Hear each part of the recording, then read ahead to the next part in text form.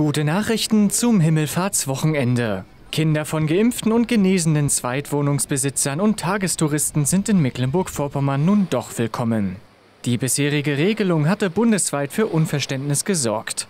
Nun machte die Landesregierung einen Rückzieher. Kinder dürfen nun doch mitkommen, müssen aber ab einem Alter von sechs Jahren einen negativen Corona-Test vorweisen. Die neue Regelung ist seit Donnerstag in Kraft.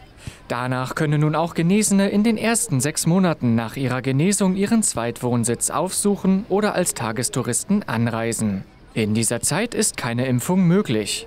Die Landesregierung hat außerdem am Dienstag beschlossen, dass die Beschränkungen für Zweitwohnungsbesitzer und Dauercamper ab dem 7. Juni ganz wegfallen.